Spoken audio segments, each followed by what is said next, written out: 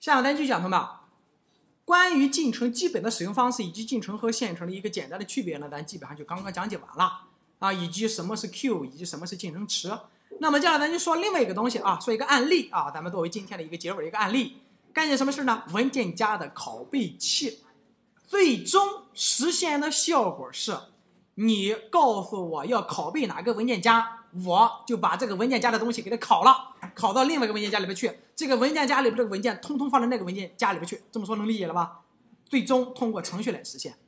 那么我想通过程序来实现，同学们。那么咱们今天不是学了这些，不就是学了多任务吗？我今天我想用多任务的方式来实现。简而言之，举个例子，举个 demo 啊，举个 demo。如果我现在 make dir，比方说我 make 叫 test 文件夹，我 cd 到这个 test 文件夹里边去啊，cd 到里边去，我接下来 touch 一点 py，touch 二的 py，当然你通过程序也可以三啊创建啊三，然后四，然后五，然后这个六，听懂我的意思了吧？就基本上就是这个样子的。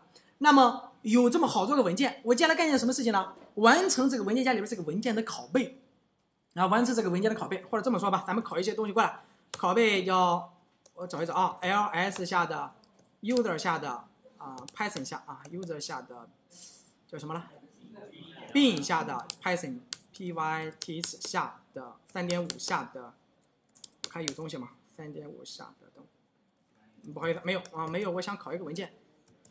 ls user 有很多的那个模块，它在哪呢？我 i python 三，然后 import os，然后 os 点下划线下划线 file 下划线下划线，OK，好了，一个路径，我知道了。就是如果你想知道你的 python 的那些模块、那些 PR 文件都在哪，你任意导一个模块，只要是导入是标准的模模块，那标准模块点儿 fail 下划线下划线 fail，那么它就有个值，这个值呢就是存放这个模块的路径，即 ls user 下的 lib 下的。然后 Python 三点五下的，你看一下都，这什么呢？你所能用的这些模块，这里边就这么一大坨啊，这里有这么大坨。好了，我干一件事情，我把那些模块呢拷到当前路径里边来。好了，copy 同学们，copy user 下的 lib 下的 lib 下的 Python 三点五下的星点 py 啥意思？哎，所有的全部给我过来，都过来了啊，已经所有都来了。好了，我 L L，我看看有没有隐藏文件，我看看我把这我把隐藏文件抹掉啊，有没有隐藏的呢？往上翻啊，没有隐藏的是吧？我看没有，应该是没有一点开头的。好了，没有一点开头的。那么接下来呢，咱所有的文件呢都在这。接下来够多了吧，同学们？我接下来干件什么事？哎，我是跳一层路径啊。我接下来写一个程序，把这个文件夹里边所有的文件都拷到另外一个文件夹里去，懂我的意思吗？怎么是你你会怎么做？先说流程。代码谁都会写，你花了时间谁都能出来。流程是什么？是你你会怎么想？我要是考一个，请问先考一个文件怎么考？什么叫考一个文件？什么叫考一个文件？就是我打我 open 新建一个文件，我把那个文件也用 open 打开，我把你的 open 打开，我把你读的东西我写到我这个文件里面去。请问我在对用 close 是不是就完成了复制了吧？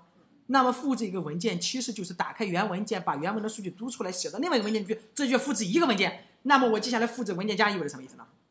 和其实同学们很简单：一、创建文件夹；二、接下来创建的文件只要路径包含了文件夹，请问那个文件是不是就在这个文件夹里边去了吧？就这么简单。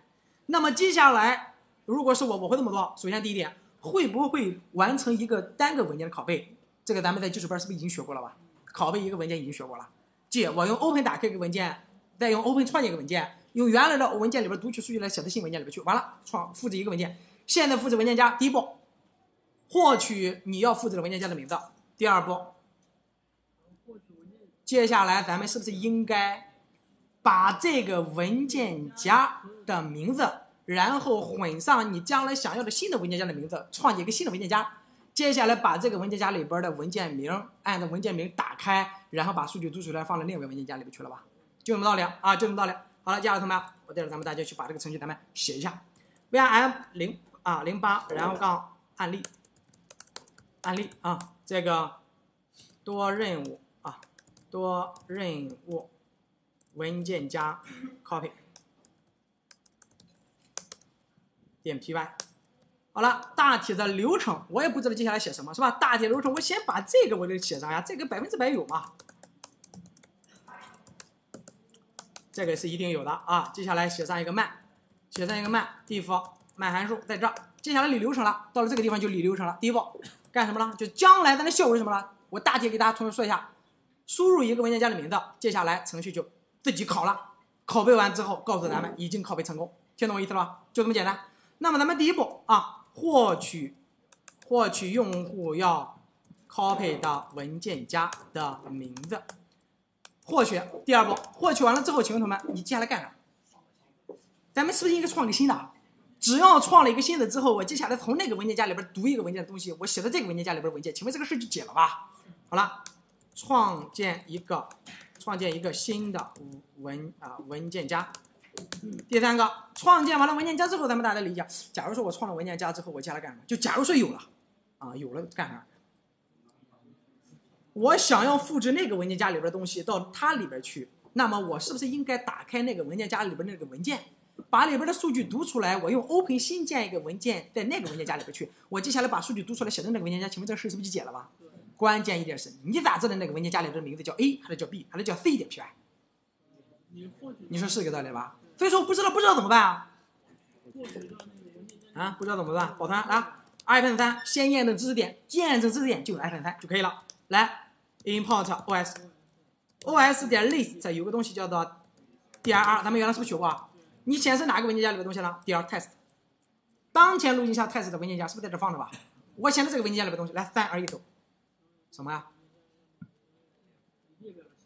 首先你往下往上翻，它是中国号，请问这个地方是不是一个列表？也就是说，我只要调这个地调这个函数，我这个函数里边我扔上一个路径，这个路径只要是对的，它就返回了这个路径下是不是所有的文件的名字吧？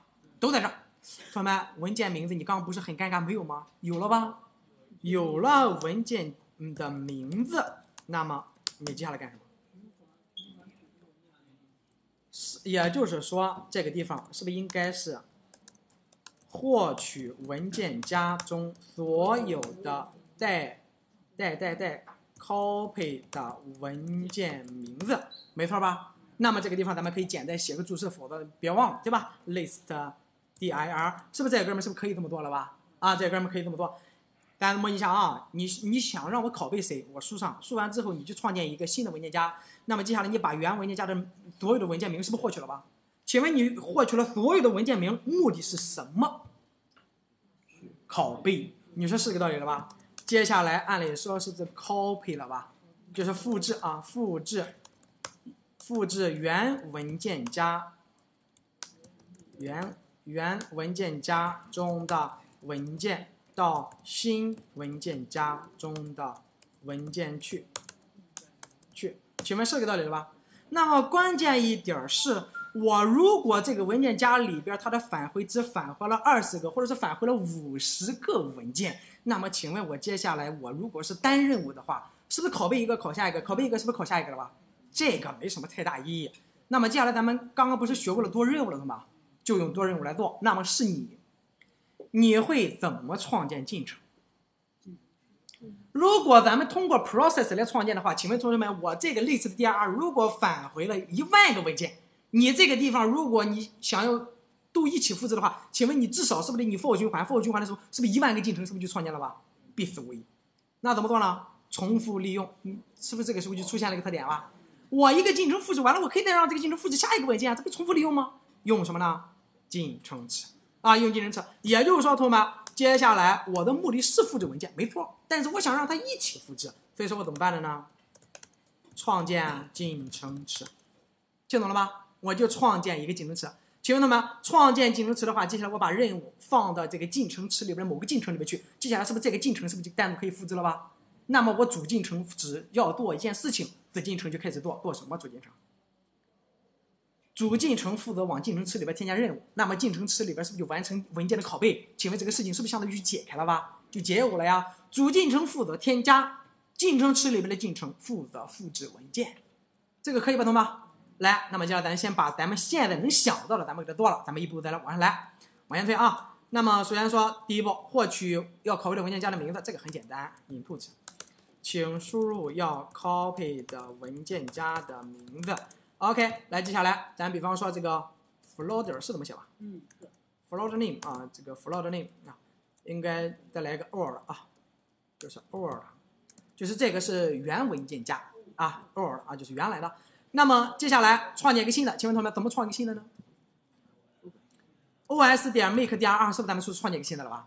那么创建一个新的，是不是就用到了 os 模块 import os？那么 os 模块是不是现在是不是就创建一个新的？请问创建个新的，这个新的叫什么名？新的叫什么名？那么 old file name，然后咱们加上一个字符串的话，加上一个字符串啊，加上一个字符串。那么请问，比方说这个地方，再再来一个啊。比方说这个叫哎，输入法输入法啊，比方说就叫附件，附是哪一个？应该是是这个吗？二，复复制啊啊，附件啊，好像是这个啊，都行，你自己叫什么都行，无所谓，这个无所谓，这不重点。创建了这个文件夹，请问同学们，到底能不能创建？咱们是不是得先验证验证吧？来试一下。保存程序，保存程序，以后写代码啊，不要想着一一口气写完，不可能，谁都不可能。程序是一边一边测试一边写，一边写一边测试。好了，Python 三零八走起，请输入你要拷贝的文件夹 test，来三二一走起，没有崩，那有可能那两句话就没有出错。来，同学们看着，可以吧？文件夹不就创建了吗？来，咱们 rm 把它删掉，啊，叫 test 中括号，把它删掉。它是一个目录，加个什么？杠 R 啊，它是个目录，加个杠 R。好了，咱们刚刚写的这个创建文件夹没问题吧，同学们？来，接下来再做这个，获取文件夹里边所有的带拷贝的文件的名字，用什么？os 点 list dir，获取谁的呢 order，floor name，请问是这么写吧？好了，来，那同学们，接下来这个地方干什么呢？它的返回值什么呢？是不是列表呀？file names 在这个里边，是不是咱们就有了吧？好了，接下来你怎么知道这个里边有没有啊？怎么办啊？打出来特特别知道了。三，走，请输入文件夹的名字，test。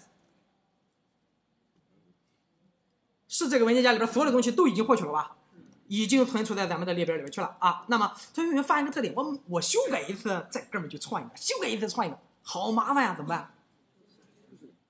啊，注释掉，啊，注释掉。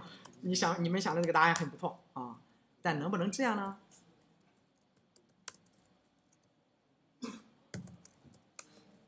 ？Except，这啥意思啊？这个地方我为什么要怎么加？同学们要注意点啊！我先把这句话我先给它抹掉，我不加这句话。我再看一下啊，我再来一遍，我把程序再运行一遍。你要拷贝哪个 test？test 走。他说这个文件夹是不是已经存在？是不是创建就失败了吧？那么这就是我刚刚给大家说的一个道理。如果这个文件夹每次你在测试的时候都创建，你每次都手动删，多麻烦呀！它不是产生异常吗？就是不让它产生异常，不就解了吗？Except pass 啥也不干，请问可以吧？那么就是只保证了这个文件必必存在，如果不存在就创建，存在是不是就不创建啊？这事就结了。你不是有异常吗？那创下就完了。好了，同学们，那么接下来这干啥？获取了文件，获取了所有的文件名，是不保存这个里边里去了？那么接下来是不是咱们要创建技能池啊？创建技能池，那么咱们应该干什么呀？是不是 import 接下来 mail multi multi processing 导入这个东西，那么接下来技能池怎么创建啊？multi processing 点 pro 哎 p o o l 是不是创建技能池啊？这里边比方说，我打个比方，我只选个五，那意味着啥呀？是不是最多有五个一起考吧？对，那么拷拷贝完之后，是不是这个地方是不是咱们找一个变量，是不是给它保存一下的吧？哎，p o 保存了这个进程池啊，你写上小写的 p o o l 也行，都行啊，都行。好了，那么 p o 指向了这个进程池，来，同学们。咱们接下来已经知道了这个文件名是什么，我接下来只要我 for 循环往这个进程里边添加所有的，请问这个事是不是就解了吧？怎么做呢？我啊，我向向进程池中添加啊拷贝文件，copy 文件的任务。好了。请问你是添加一个、两个、三个还是几个？怎么做？for file name，然后 in file names 啊，别写错了啊！我这个是不带 s 的，这个是带 s 的啊。好了，那么带 s，咱们这边不是已经是个列表了吗？我就把它拿过来，是不是 for 循环循环啊？往里边添加，添加怎么写啊 p o 点 apply 呃下划线 async 添加添加谁啊？到哪去做呀？同学们到哪去做呀？怎么办啊？请问同学们这个时候是不是自然而然的，是不是就我就需要写个函数了吧？你有没有发现一个特点？我每次写程序我都是这么多的，用什么写什么，不会多也不会少，百分之百运行。比方说 copy fail，然后 copy file，一二三一二三，完成啊。比方说完成文件的复制啊，或者是拷贝都可以。那么接下来干件什么事呢？这里边到底写什么了？不确定。然后同学们，你至少这个地方是不是可以写上 copy 这个东西的名字了吧？你至少是不是可以写了吧？那写上之后，同学们咱们想想，他咋知道我考谁？他咋知道我考到哪去？怎么着？啊，怎么着？那么也就是说，咱们应该告诉他一件事情，比方说，老张，你能不能帮我干一件事情啊？把那个东西搬到那个地方去。我是不是得告诉你从哪搬，搬到哪去？是搬谁？是不是都得告诉你了吧？也就是说，如果咱们仅仅只写上函数的名字，将来让它当做一个进程池里边任务去调度的话，这不够。应该告诉他干什么才行，同学们，你觉得需要传什么进去？这个文件名必须得传进去吧？好了，那么假如说文件名传进去之后，他就能够拷贝了吗？他得到了文件名，他很尴尬，问题就来了，他咋知道这个路径是谁？你说是这个道理吧？他咋知道这个路径是哪一个文件下的哪一个文件？他就蒙圈了。所以说，同学们，在这个地方怎么做啊？这个地方怎么做啊？咱们是不是应该告诉他拷贝的是哪个文件夹下的是不哪一个文件了吧？让他拷到哪去？是不是也得给他告诉他一声？记，我这个地方给他 args 给他传一个元组，传一个什么东西往里边传呢？比方说我把 file name 传进去，请问啊 file name 是不是就是文件名进去了吧？啊文件名进去了，当然还需要传一些其他东西。同学们，我字体稍微小一点啊，把这个屏变大点。呃，这个字体能看得见吧？啊能能哈，那我就先用这个字体，就是代码看得更多。那么我只先把这个哥们传进去，咱们说了元补是不是这个地方加个逗号？请问，我传一个参数，这个地方是不是就写一个？来，第几行呢？那是五大 G 跳到第五行，大 A 跳到末尾，这个地方写了个 file name。你怎么验证这个机这个任务在做呢？咱们怎么做啊？print，啊你打个东西我，不就验证一下吗？比方说啊，模拟啊，copy 文件百分 f 啊，百分号 f，那么百分号 file name。我接下来是干什么呀？这是在这，我先把这个流程给它走通。我只要传一个参数进去，你能够正确打印的话，那么请问同学们，将来我传很多个，是不是将来这个地方是不是按理说是不是也可以吧？啊，也可以。但是呢，稍微尴尬的一点情况是在这个地方呀，你在进程池里边打的信息有可能看不见。咱们只是说一下啊，好的们，那我怎么保证进程池里边的进程执行完之后，我主进程再执行呢？用什么东西啊？先 close，po 点先 close 把它关了，听懂了吗？先 close，然后再 join，干啥呀？等待进程池里边的进程做完。来，咱们哎，多了个 clear 这个地方啊。文件夹 test。哟，这个地方你没发现进程池里边的任务是不是依然这个信息是不是也也打印出来了吧？如果说到这个地方，我就以以话题说话题。如果一个晋升池里边的任务呢产生了异常，那么它会打印出来吗？咱们看看啊。我这个地方打个比方说吧，嗯，百分地啥意思啊？你给我传的东西是字符串，我是不是按照百分地打呀？我再试一下，有异常吗？没有异常。那么我想要告诉你的是什么？如果你在进程池里边的任务再去做的时候产生了异常，不好意思，它不会产生是那个那个那个异常的信息，你听懂了吗？它不会显示，这一点切记啊，这点要切记了啊，否则你有可能，哎，怎么这个哥们都没执行，执行了，但是产生了异常而已，能理解我意思啊？好了，这个地方啊，百分之 s 给它换回去，再执行一遍，test，你看是不是现在模拟拷贝谁？模拟拷贝谁？大家有没有发现这个事情是不是就解决了吧？咱老说模拟那肯定不行啊，咱得动点真格的，怎么办？接下来我只要把这个事情换成真正的拷贝文件，请问这个事是不是就解了？请问它拷贝文件，简单来说，打开文件读文件，打开另一个文件写文件，完了，对吧？那关键一点是，他咋知道打开这个文件，这个文件在哪个路径？他不知道吧？怎么办的呢？二十九大 G 跳过去，我可以把我的文件名字所在的路径啊告诉你。比方说，比方说我在这个地方写上啊，比方说我在这个地方写上空格写上 Word 叫什么呢？Folder name，请问原文件夹的名字是不是就有了吧？原文件夹的名字有了，那么接下来还得干什么？是不是还得传一个 new folder 这个哥们儿了吧？new folder name 传进去，请问有吗？这个变量？咱们在这个地方是不是直接把它是不是当做 new folder 名字了吧？所以说在这干件什么事儿的嘛？啊，应该是在这个位置 new folder name 是不是应该是等于在坨吧？好了，我就大 V 啊，小 V 小 V 选中这些，然后按左键，然后按下 X 把这个删掉了，然后 P 粘贴，它就粘到后面去了。那么接下来这个地方是不是就换成了 new folder？没问题吧？那么我传了三个参数，请问这个地方一个是不是肯定不够啊？五大 G 再跳过去，那么这个地方就是 old folder name new folder name。这个参数这几个名字是这个函数里边的九变量，这几个是不是这个函数里九变量？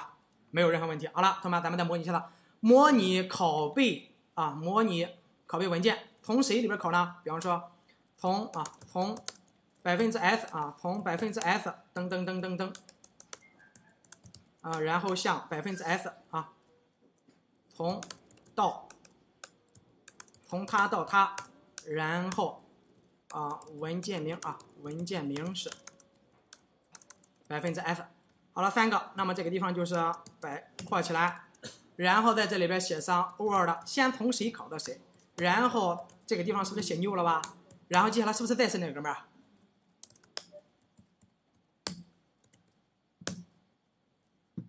模拟一下子，从 test 拷贝到这个文件名是这个，没问题吧，同学们？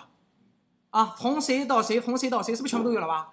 那么既然这个测试信息又验证完了，来，接下来就动真格的了。怎么打开？怎么复制啊？Open 打开一个文件，是不是同学们？文件名呢？文件名在哪？Word folder，然后加上什么东西啊？斜杠吧，然后再加上什么东西啊？哎，它这个怎么变成 Shift 空格啊？然后再加上叫。叫叫什么叫 file name？请问这意味着啥呀？这个地方要注意了啊，这是路径的问题，对你必须要拼路径。你看我的程序在这儿，这个文件夹是不是就在我旁边？我要打开的是当前程序所在的路径，这个路径下的这个文件夹里边的是某个文件，所以说我是不是得拼路径啊？所以说呢，在这个地方同学们啊要注意了啊，这就相当于拼个路径啊，拼个路径。来，那拼个路径是到底是真的还是假的呢？同学们，我打出来，然后 R B 意味着啥意思啊？是不是二进制啊？那我就按照二进制读吧。来，那么 F 啊，比方说 Word F 等于它，然后 Word F 那肯定是最后的怎么了？肯定是得关闭。那中间 Word F 点 Read 点 Read，比方说我全读出来，题目是不是读数据吧？测一测你读到的数据是什么？来 say Test 啊。好了，大家有没有发现一个特点啊？当然这个文件是乱的，是吧？它根本就看不清这啥玩意儿，就是。啊，来来来，咱咱找找啊。这都是些什么？看也看不看不看不完啊！往上翻，往上翻。我的天呀！啊，这是一坨啥呀？我想找一个区区区分的那个地方，我怎么没找到呢？啊，终于找到了一个，在这，好不容易啊！看着，是不拷贝文件从谁到谁？文件的名字是这个。那么大家有没有发现，接下来是不是咱们相当于读取了这个文件了吧？来，咱们验证验证啊，这个叫做 COMP 什么什么什么这个啊，记住这个名字 COMPI，它里边是 Copyright 二零零七 Google 啊。来，咱们去看一下这里边的东西到底是对不对的。VRM test 里边有个叫做 COMP，是这个吧？嗯。哎，Google 呢？哎，为什么没有看到 Google？很尴尬，为什么没有看到 Google 同学们？这个地方。大家切记了，这是屏幕上的东西是乱的，为什么是乱的呢？因为我至少有五个文件，是不是一起在考？有可能我刚刚打印了，我接下来要拷贝谁，但是我还没读出来的时候，是不是那个进程是不是已经打印的东西了吧？所以说打印的不见得一定是我这个文件的信息，但是基本上它就能拷贝。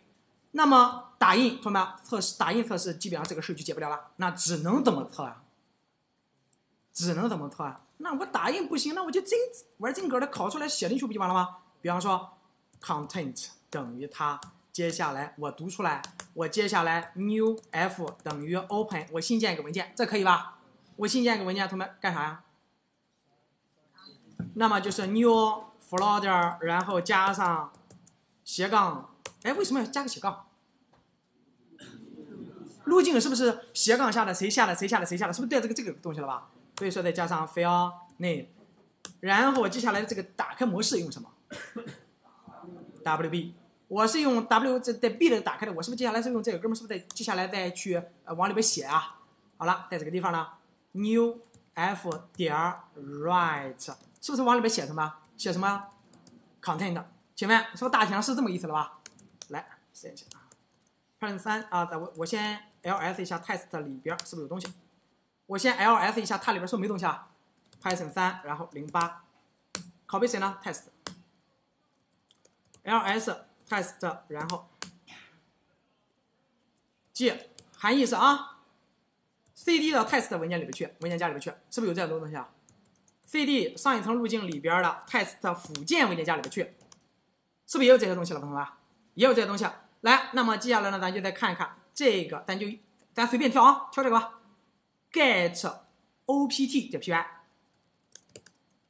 这个里边不是也有个叫 get opt 吗？我打开咱们对比对比，vrm get opt 点 py，它里边咱看有多少行？有二百一十五行。然后咱看一下第一行是什么什么什么这个啊？vrm 上一层路径里边的 test 文件夹里边的 get ops 啊 opt 打开，二百一十五行，第一行是不是也是这个东西啊？请问同学们，这两个文件？是一模一样的吧？保证了文件已经拷过去了。那么拷过去了，同拷过去之后，同学们，你没发现一点？咱们基本上这个任务想要做的核心点是不是已经执行了吧？但是东哥，你做任务的时候，你能不能做的再高端点？你怎么知道？就是能不能再显示一下当前你这个拷贝的进度条呢？咱们在复制一个文件夹的时候，请问同学们，是不是有个进度条一一停不停，一停不停往前走啊？对吧？咱们进度条虽然有可能导不出来，因为很复杂，才能做出一个在终端下面的一个进度条。那么咱怎么做呢？它显示个百分比，这总可以吧？那我的意思是说，注意听啊，到现在为止，其实第一个版本就写完了，干一件什么事啊？干了件什么事啊？拷贝文件夹里边的文件，这是第一版就写完了。来，mv，我把这个零八的给它改个名，零八，然后杠一，杠什么呢？嗯，就就相当于 v 一啊，v 一就写个 v 一了，shift 啊，shift。好了，ls，刚刚咱们是不是写了一个版本了吧？copy 零八，我再写个版本，叫做零九，然后叫做案例，然后接下来干什么呢？就多任务啊，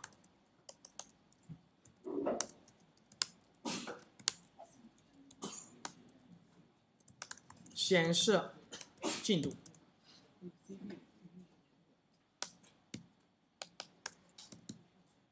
说 A 啊。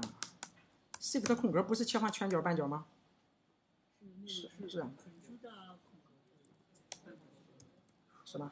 哼，忘了啊。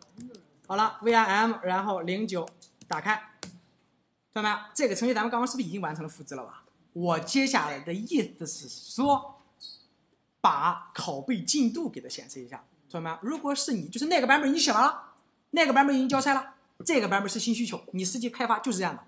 先花两天写一个新版本，写完了再花几天再写个版本，甚至是你接下来的是快速迭代。所谓的迭代，就是在新版本的就在当前版本基础上修改修改功能、添加功能，得到一个新版本，这就是迭代，迭代更新叫迭代更新。同学们，那么接下来我的需求是你帮我想想啊，我比较懒了，你帮我想想，我的需求是这样的：显示一下当前拷贝的进度，怎么显示？你拷贝了一个文件，你告诉我拷贝完了，请问我的进度是不是应该加一呀？打个比方，有一百个文件，举个例子，一共有一百个文件，你那个拷贝完了，请问我的进度是不是加一啊？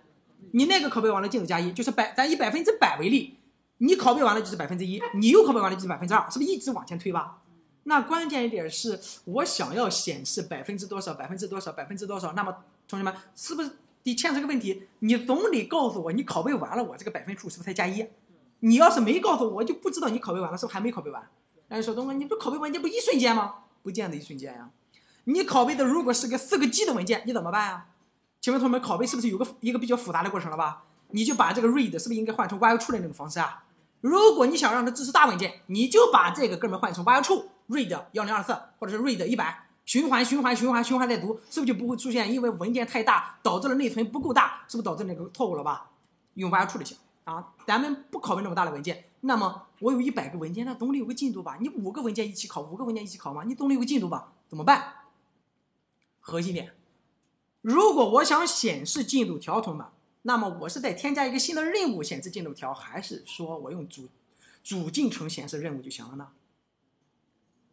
我主进程我闲着也是闲着，你说我用 join 我闲着是不是也是闲着？我干脆让它来显示这个拷贝的一个进度，请问这个事情是不是更好了吧？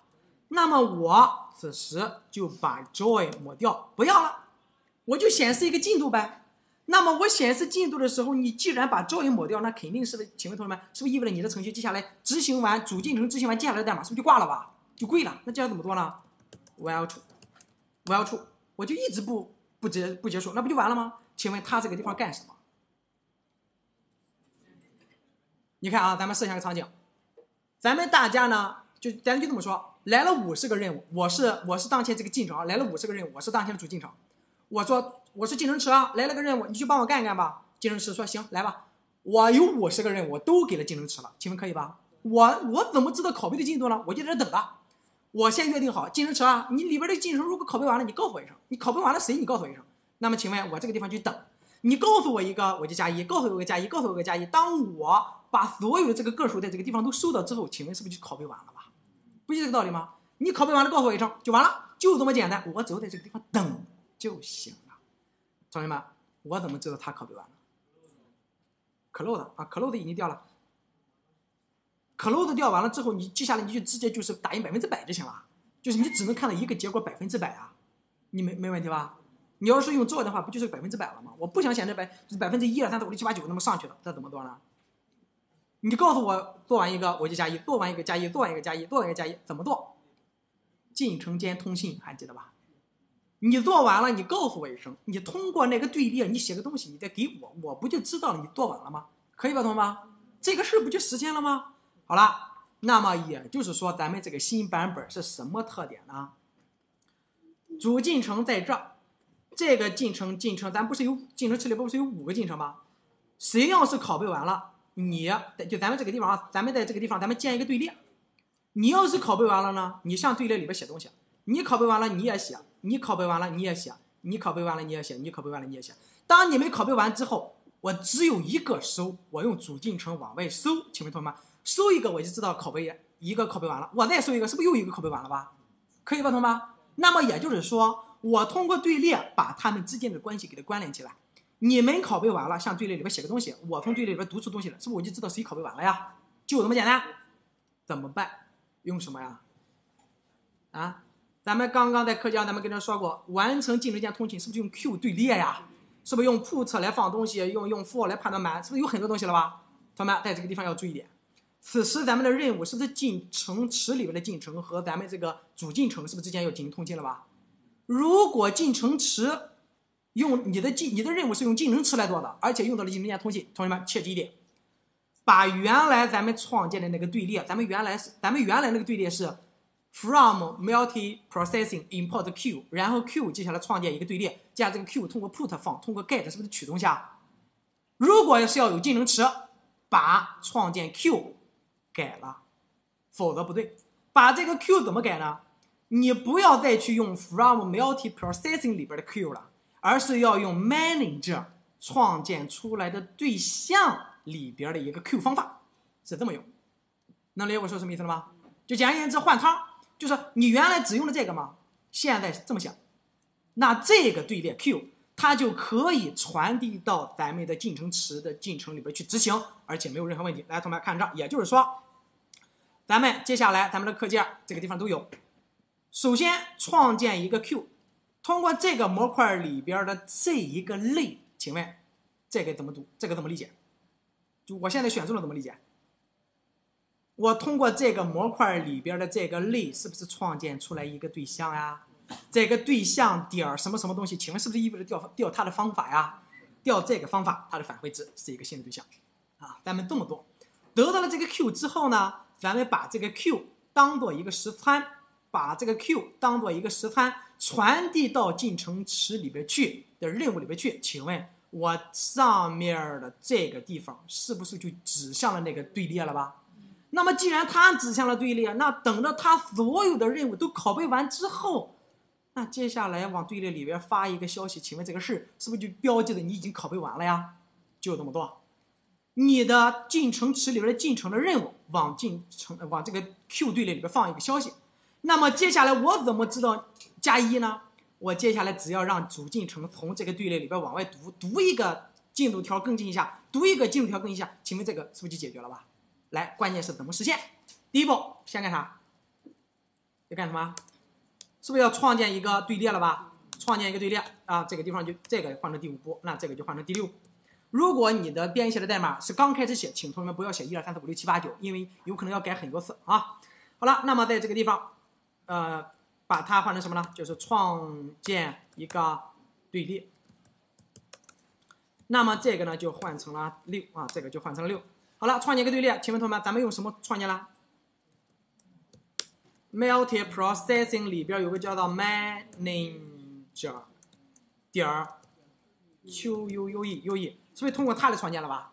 通过它来创建，那么比方说 Q 啊，就是指向它了。请问同学们，咱们是不是应该想方设法让它得够得到才行吧？怎么做呢？在这里边传参数啊，在这里边传个参数。那么接下来，比方说我把 Q 放在这个地方当做实参，那么这个位置 W W W 这个地方咱们找一个来接收就行了。那么接下来最后一步，在这个位置啊，就是这个函数里边的最后一步，如果拷贝完。了文件，那么就向队列，向向向怎么向？啊，就像队列中写入一个啊消息啊，表表示已经完成。那么 Q 既然指向这个队列，那么就是在 put 往里边放喽，放个什么合适呢，同学们？你放个一也行，放个二也行，放个三是不是都可以吧？那么这个地方咱们呃最好合理一点，放一个什么呢？file name。我放上一个 file name，请问我是不是放了一个字符串啊？放一个字符串意味着什么？不就相当于对方知道了你已经拷贝完了谁，对不对啊？啊，我已经拷贝完了谁，我不知道了吗？请问同学们，我接下来 while true，我怎么办？q 点 get，我搜一个显示，搜一个显示，搜一个显示，请问可以吧？来，那同学们来看到，我搜一个，我就什么呢？file。name，我搜一个，我接下来啊，接下来我在这个地方我 print 把它打出来，print，print 啊，已经完成 copy 啊，谁呢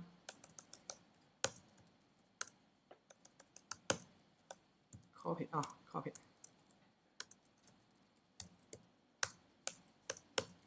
那么这个地方呢就像 file name，朋友们，我问一个问题，这个 get 是不是会堵塞了吧？是吧？我若是没有数据，我这个地方是不是等的里边有数据，是不是它会取啊？拷贝完一个，这个地方有一个；拷贝完一个有一个，懂吗？来，咱们记下来，保存。过了啊。U 是撤销，Ctrl R 反撤销。打个比方，坏了，刚刚不小心按了个 U，Ctrl R 替左边那个反撤销啊，Ctrl R 反撤销啊。好了，来，同学们看着，我把 test 文件夹这里边必须得删掉了，因为这里边有文件了啊，必须得删掉。好了，删除它。删了，Python 三，然后零九，勾起 test，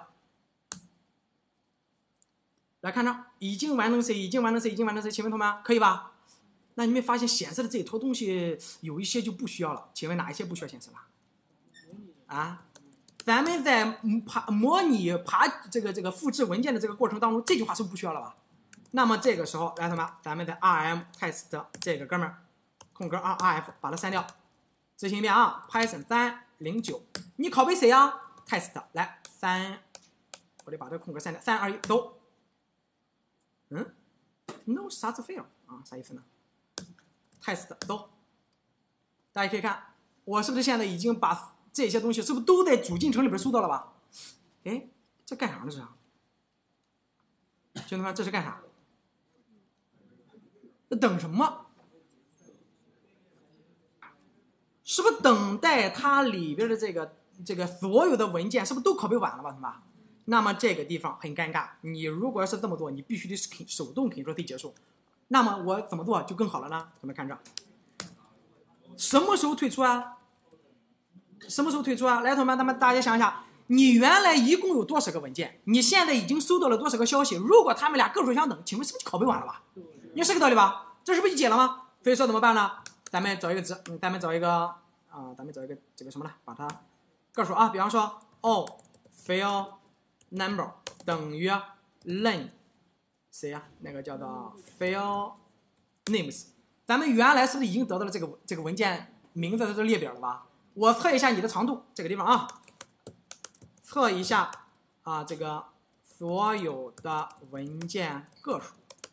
然后我接下来 while true，请问同学们，我接下来是不是 while true 一直收，一直收，一直收了吧？收到什么时候不收了呢？啊，同学们，收到什么时候不收了呀？比如说 if 如果我现在收到的个数，如果要是大于或者是等于那个值的话，是不是就结束了吧？即我怎么知道当前我已经收了多少个？所以说前面是不是定一个变量了吧？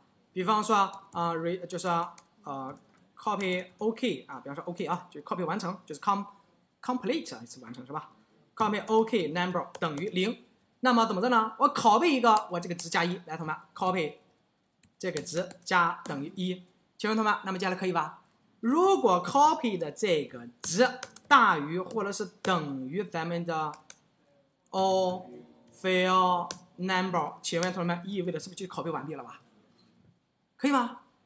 那么如果要是不大于的话，那么接下来不就是接接着考吗？rm，哎，怎么多了个附件了啊？rm 附件把它删掉，rm test 附件删掉，Python 三零九周期，你要拷贝谁？test 走，是退出来了吧？这个是不是退出来了吗？好了，再进行升级，你退出来没问题了，但是你那个进度条呢？没有，同学们，咱们怎么做？怎么显示进度条啊？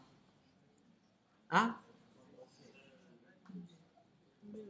显示这个什么什么什么已经 OK，这个咱们就没有太大必要再显示了吧？好了，我接下来再来一句啊，这个进度啊，拷贝的进度为百分百分什么呢？百分之 f 显示小数点。那同学们，那么这个显示小数点这个值应该是多少呀？谁除以谁啊？完成的除以总。啊，对，完成的个数是不是除上那个总个数吧？非要，呃，这 sorry 不是非要是这个 copy OK 这个 number，然后除上 all 这个 number，请问是不是它们的值了吧？啊，把它括在一起啊，因为它毕竟有除法啊，把它括在一起。好了，接下来显示啊，加加一，为什么要加一呢？呃，先试验一下，很多同学都是不知道为什么了。来看着啊，走，看着看着看着，这个地方显示了一个叫做什么呃百分之九十九点等等等等等，请问你们发现是不是相当于一个约等于这个值了吧？啊，一个约等于的值。来，同学们，那么接下来咱们再打开这个代码，是不是进度有了吧？那进度有了，接下来咱们怎么的？把这个抹掉。那么接下来咱得把这句话放到它下面才行，是吧？否则是不是就达不到百分之百了吧？来，再走一遍啊。rm test 文件夹，然后杠 rf 删除，然后 Python 三，这个不对啊，Python 三，嗯，那 Python 呢？py pyt 是三，然后叫做零九周期 test 文件夹来了太子文件夹都，哎，不是百分之百，你哪个一是啥意思啊？你乘上一百不就完了吗？你说是个道理吧？来，来来来来来，打开。那有人说东哥这个百分之一肯定不爽呀，对我也觉得不爽。那么打乘上一百，乘上一百怎么乘啊？乘上一百，可以吧？那那个百分号怎么显示呀？两个百分号显示一个百分号，哎，两个百分号显示一个百分号啊，切记。来，我还得删那个文件夹啊，还得删那个文件夹是吧？这个。删除 test 附件杠 rf 都 test 都去，啊，把小数点抹掉，来怎么抹？这个应该知道怎么抹了吧？马上就结束了，怎么抹掉小数点？点对点二 f 点二 f 就是保留两位小数，能理解我意思了吧？但是我执行完这个之后，还有个现象，你看啊，还有个地方需要做，先删再运行。好了，test 都百分之百没问题了吧？相当不错了。你能不能显示一行？你显示这么多干啥？你你说是个道理吧？人的这个需求就是这样的啊。这个看的碗里的是吃的锅里的那个是吧？有一句话，来了吗？啊，你看我就故意说错了，让你们去反应嘛，是吧？来看这，我 print more 是不是有个换行呀？那不换行不就解决了吗？注意看啊，有个叫什么来？叫 end 还是叫 ends 了？end 等于空，是这个是这么写吧？那么大家看看此时会怎么了？先删，再运行，再写上 test，再回车。啊，这个也太 low 了，这个更 low，那怎么办呢？那怎么办？怎么回的这个行的行数呢？是吧？反斜杠 r，对，反斜杠 r，来看一下，先删，哎，sorry 啊，不是打开了啊，先删除，再运行，然后写上 test。哎哎，看这样，刚刚不有个过程吗？一站，你没看见？来来看好看好看好，来删了。再运行，看好啊！三二一，走！看见了吗？啊，你看这个反应，两秒钟才过去啊！来，接下来，同学们，你还没刷出来。接下来，只要把所有的打印都给它干掉。你看这个地方不是还有个打印吗？不要了，行吧？打印去掉，然后来，同学们再来一遍。呃，先删，再运行。好了，走了啊！test，走你。但是为什么？执行完了，这个哥们怎么又在这儿呢？你能不能下去？对吧？像我这种强迫症患者，你能不能下去？同学们，当你这个程序都结束了，你再来个 print，请问这哥们是不是下去了吧？就完了。来，三，最后一遍了啊！没有再来一遍了。三，然后执行，三二一，走。可背完了啊！最后呢，这个咱们 tree。这个叫 test，这里边是文件有了吧？随便咱们挑一个啊，咱们随便挑一个 cd 的 test 文 test 文件夹里边去，然后进去，咱们随随便挑一个 vim 叫 threading 吧，threading 点 py 有吧？大家有没有发现一点？咱们原来 import 那个 threading thread 是不是在那个特殊的路径下，是不是有个特殊的一个叫 py 文件？其实啊，Python 它没有这个真正的什么开源与闭源之说，你拿到的代码其实都是有一些什么 py 组成的，懂我意思了吧？比如说 C 和 C 加加，它可以打包成一个二进制，你是真看不懂的啊！这咱 Python 一般都能看懂啊。